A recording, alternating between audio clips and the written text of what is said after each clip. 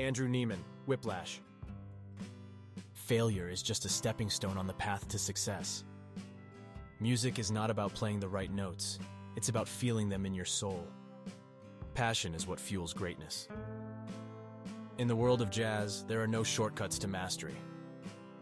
Success is not measured by applause, but by your own personal satisfaction. You can't be great if you're afraid to fail. There is no room for self doubt in the pursuit of greatness. The rhythm of life is inescapable. Embrace it with every beat.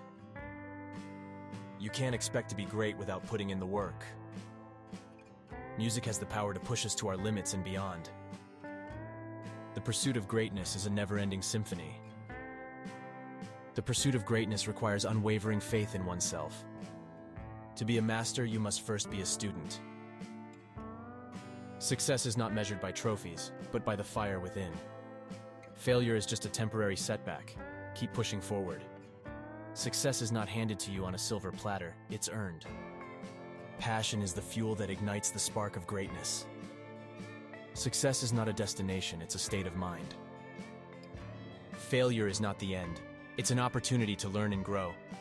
Music has the power to heal, to inspire, and to change lives. Success is not a sprint, it's a marathon. Success is not defined by external validation, but by personal growth. Success is not measured by fame, but by the impact you make on others.